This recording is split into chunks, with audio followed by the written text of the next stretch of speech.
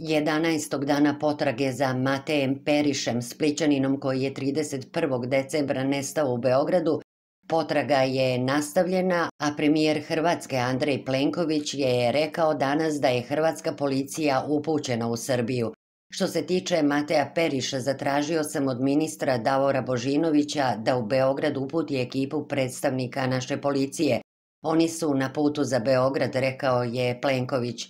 Sve vreme radimo na dve piste. Jedna je direktni razgovori sa policijom, a drugo su diplomatsko-konzularne aktivnosti koje naše veleposlanstvo provodi sa srpskim vlastima, rekao je Plenkovića prenosi indeks. Dodao je da treba zahvaliti srpskoj policiji na trudu.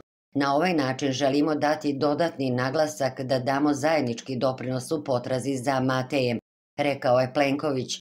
Ono što je ključno, bitno je da porodica i cela javnost dobiju celovitu informaciju, da se svi elementi istraže do kraja, rekao je Plenković i dodao da se još puno toga ne zna, prenosi indeks.hr.